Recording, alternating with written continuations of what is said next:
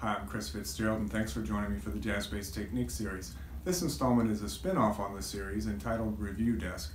Every once in a while, a new piece of bass equipment comes around, crosses my path that I find really interesting, and I want to always get my hands on it and put it through its paces and see how it might actually work in the real world in rehearsal, on a gig, and a recording, etc. And this series is set up for that express purpose. Uh, the two pieces of gear I'd like to talk about today are the Kolstein Busetto Travel Bass and a preamp called the Vintage Revolution Acoustic Box 2.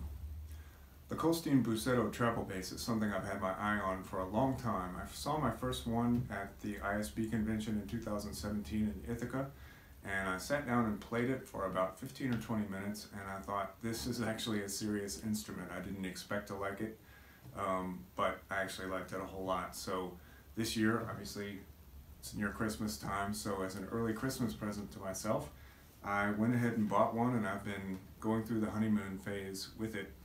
Um, it is a removable neck travel instrument, so the neck comes off when it's time to fly, travels in a separate case from the body. The body travels as a suitcase, or a flight case, I should say, and the neck travels separately or can be attached also to the case that carries the body.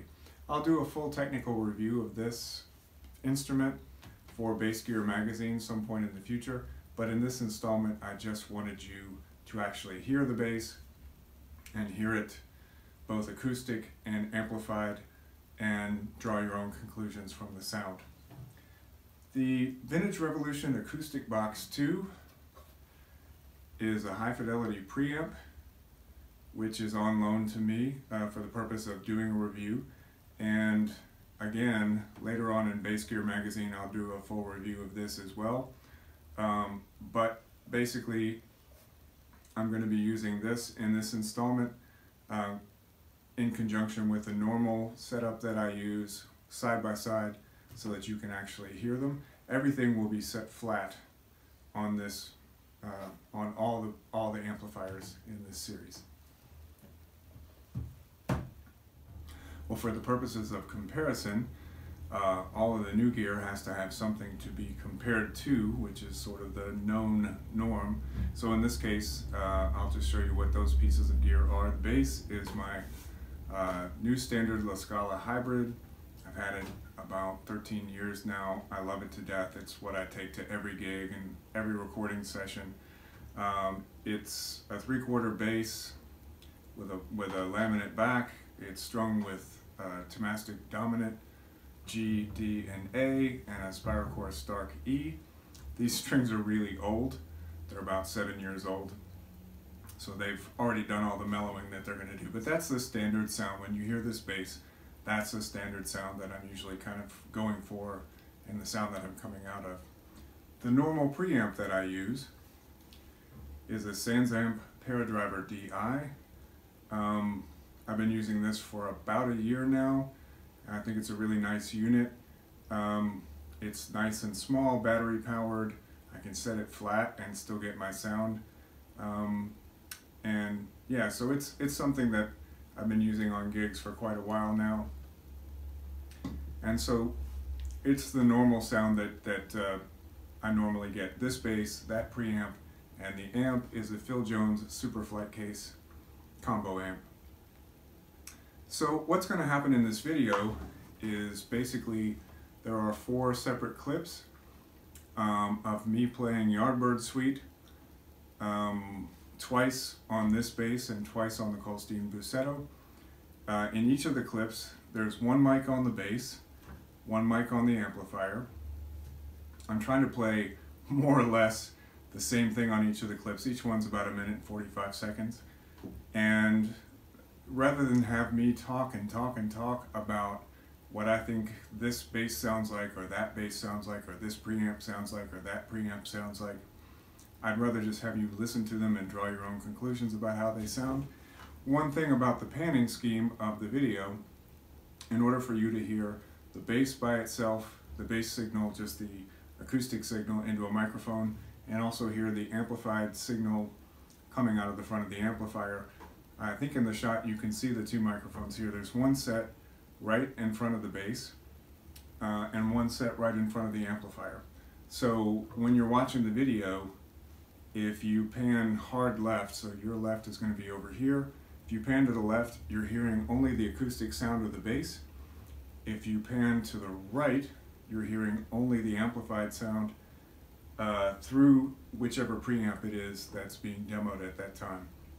And having said that, I'd like to just go ahead and play the clips, uh, listen to each one and see how you think it compares to the other, and I'll meet you on the other side.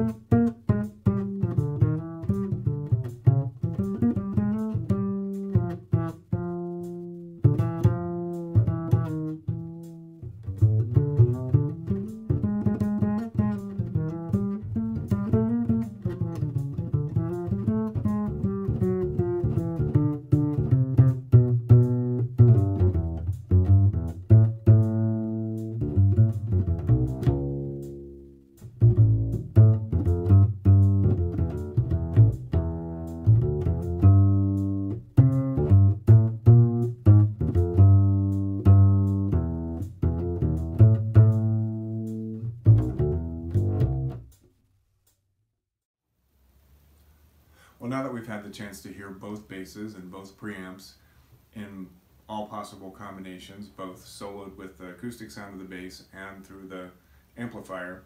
Uh, it's time to talk about what conclusions, if any, we may draw about these pieces of equipment. As I've said, I'm going to be uh, writing technical reviews of both this bass and the acoustic box preamp at a later date for Bass Gear magazine, and it will include all the technical specifications and all of that information. Here, I just want to talk about my impressions. You probably have formed some of your own just by listening. I want to start with the bass. Um, I'm a big fan of this bass. I, as I said earlier in the video, I'm still in the honeymoon period with it. I've been practicing with it every day, played it in some rehearsals. It seems to hold its own fine. Um, some of the things I like about it. Um, I have played travel basses before. I've played the Eminence bass. I've played various stick basses. I even had a custom fretless electric bass built for international travel because I knew I could not take a full-size uh, double bass with me. And so if I had to judge this bass against the La Scala, it would really be no contest because the La Scala is probably my favorite bass in the world. And it has the full body and the sound that comes with the full body of the bass. Uh, however, that said, um, my requirements for a bass when I'm on the road, especially in another country, are basically how does it feel to play? What kind of strings does it have on it? What kind of pickup does it have on it? Can I get a sound that I can work with? Is it a bass that I can be comfortable with? And by this measure, this bass is actually really amazing.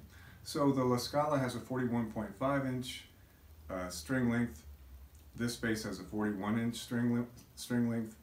It is a full-size fingerboard, full-size neck. And so to play it, it feels almost exactly the same. The only difference is the strings. So on the La Scala, I use Thomastik Dominant on the top three. Those strings are notorious for breaking once you take them off and put them back on. Obviously, not a good option for a travel bass. So this bass is set up with Spirocore middles, uh, red silk on both ends, and they're brand new. So part of what you're hearing when you're hearing the two basses side by side is you're hearing a very old and seasoned set of strings on the La Scala and a brand new set of Spirocores which are still in the early sort of everything sounds like a banjo stage. So I expected this bass to sort of mellow with age as the strings mellow. However, what I was really surprised about with this bass is the way that the feel of the bass feels exactly like playing a regular three quarter bass and also the bass response of the strings. So if I play a stick bass or any number of other travel basses I've played, there's always this diminished bass response. So when you play a low note and you want it to growl, you, you go for the note and it's not really there. The body of the note is not really there. But on this bass,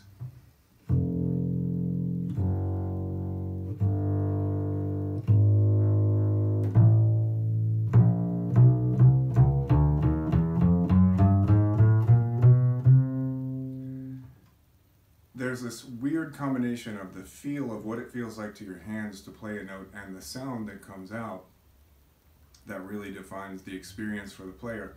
And I have to say that this bass is a wonderful bass to experience the feeling of playing with.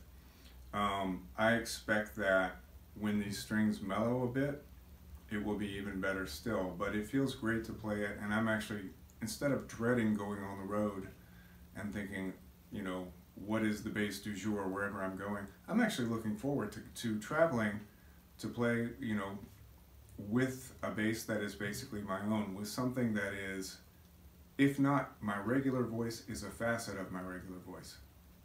So the true comparison is um, not between this bass and the La Scala, it's between this bass and whatever the bass du jour is where I'm going. And based on my long experience in these matters, this bass is a clear winner in every possible way. I can travel and know that I'm going to have a voice to play with when I get where I'm going. And that's amazing. In addition, and I'll include this in the later review after I've already flown with it a couple of times, um, it's really easy to take apart and put back together. It's very simple to get everything right where it should be. Um, the case has wheels. It's it's going to be a real treat, and I'm and I'm really looking forward to it. As far as the preamps go, this is a little bit tougher because you've heard both.